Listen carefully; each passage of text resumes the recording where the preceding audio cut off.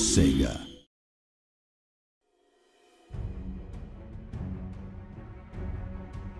Hello and welcome to the Battle Magic Spotlight for Total War Warhammer. In this video, we'll explain how the magic system works in Total War Warhammer and how you can use it to your advantage to best the many enemies you will encounter in the old world. On the battlefield, characters use power from their winds of magic to cast their spells. Power is represented by the large glass orb in the bottom right of the screen. The smaller bar to the right of the orb is the power reserve. The power reserve does not recharge. However, depending on how you've upgraded certain magic users, they can use abilities that give a small boost to the power reserve, giving you just that little extra bit to get off a spell in a time of need.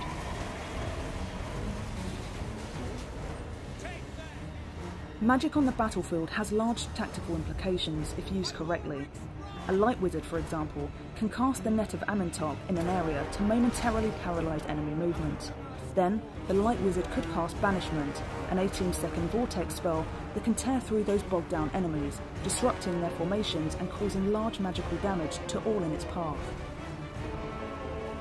This type of 1-2 combo is perfect for enemies coming through tight spaces such as broken down walls or streets. However, combining spells such as these doesn't come cheap, and spending the majority of your winds of magic in large lump sums is always risky, as spells such as vortexes are unpredictable and have the potential to backfire. Some spells can be used to completely catch your enemy off guard. Can't quite chase down that pistolier cavalry that keeps shooting you from a distance? With the Lore of Vampires you could cast Raise Dead, reanimating a unit of zombies behind them. Now they won't know where to turn to avoid close quarters combat.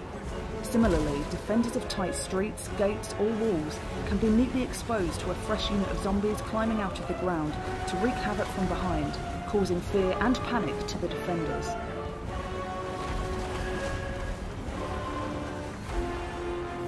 The Winds of Magic isn't all about who has the bigger spell, rather, it rewards those with the deepest knowledge of units on the battlefield.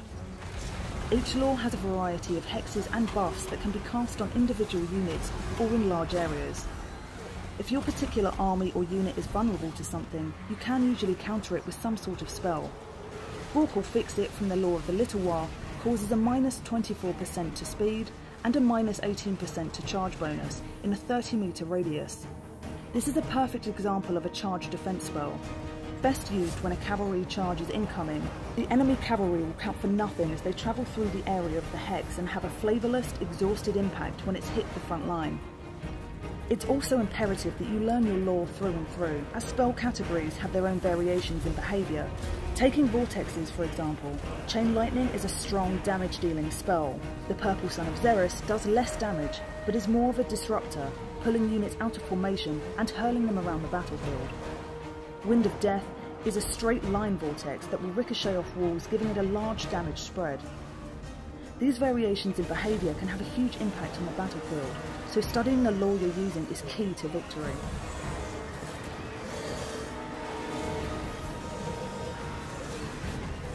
Not all races in Total War Warhammer access the Winds of Magic in the same way. The dwarfs, for instance, have a natural resistance to magic and are mistrustful of the dark arts. They rely instead on runesmiths who bind the winds of magic to create powerful runes, which can be activated during a battle. Unlike the winds of magic, these runes never lose their power during a battle and can be activated after a small and brief cooldown period, making runesmiths an incredibly powerful and effective foe on the battlefield.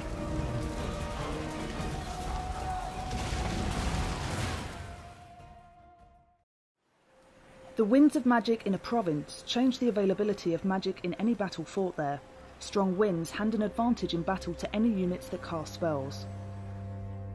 The winds of magic always blow, but they can blow at different strengths in different places on the map, and the strength varies over time.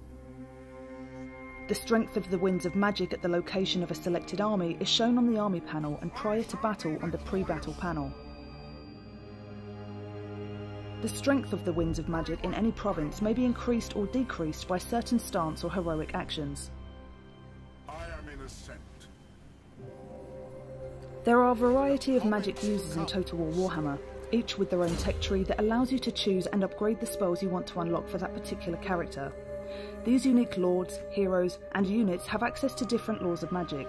A Bright Wizard, for example, has access to the Lore of Fire, while a celestial wizard has access to the Lore of Heavens. Each Lore of Magic has six unique spells to choose from, some of which can be overcast. Overcasting allows for greater power and duration of spells for an increased Winds of Magic cost. However, overcasting also comes with a 50% miscast chance, meaning your spellcaster could potentially harm themselves. That's all for our Battle Magic Spotlight in Total War Warhammer. Subscribe for more Total War Warhammer videos and connect with us on social media to get the latest news and exclusive content.